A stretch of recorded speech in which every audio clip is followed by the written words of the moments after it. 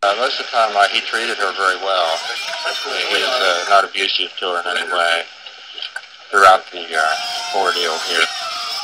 Parents who had gone through so much were almost speechless with relief. If you just tell us how you feel in your own words rather than us trying to. Just tell us how you feel. We're very happy. Thank God she's back. Did you have any doubt at all that your daughter safely to you?